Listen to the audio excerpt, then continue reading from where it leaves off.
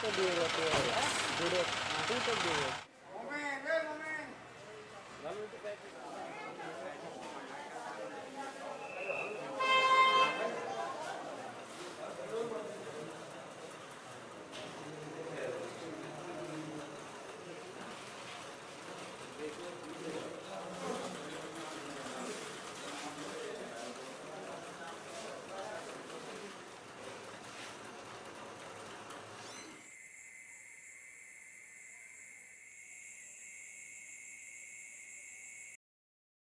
আমাদের চারজন সহকর্মী গুলিবিদ্ধ হয়।